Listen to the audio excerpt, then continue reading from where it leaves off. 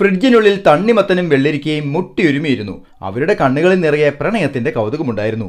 രാത്രി പച്ചക്കറികളും പഴങ്ങളും ഒക്കെ ഉറക്കം പിടിച്ചപ്പോൾ തണ്ണിമത്തൻ തന്റെ വെള്ളരിപ്പെണ്ണിനെ വാരി പുണർന്ന് പറഞ്ഞു ഞാനൊരു ഉമ്മ തരുവാണേ അവൾ നാണത്തോടെ പറഞ്ഞു. അമ്പട തണ്ണിക്കുട്ടാ പിറ്റേ ദിവസം ഫ്രിഡ്ജ് തുറക്കുന്ന ശബ്ദം കേട്ടപ്പോൾ എല്ലാവരും ചാടി എണീറ്റു.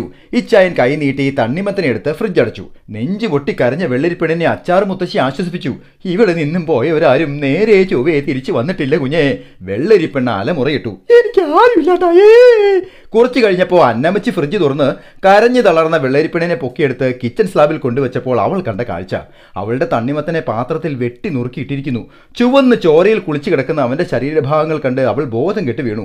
തന്റെ ശരീരത്തിലൂടെ കത്തി കയറി ഇറങ്ങുന്നതും ജീവൻ പോകുന്നതും ഒന്നും അവൾ അറിഞ്ഞില്ല. അവളുടെ ആത്മാവ് തണ്ണിമത്തന്റെ ആത്മാവിന്റെ അടുത്തേക്ക് പോകുമ്പോൾ മേശപ്പുറത്ത് വെള്ളരിക്ക കറിയും തണ്ണിമത്തൻ കഷ്ണങ്ങളും നിരന്നിരുന്നു. Happy drawing Saneesh Divakaran.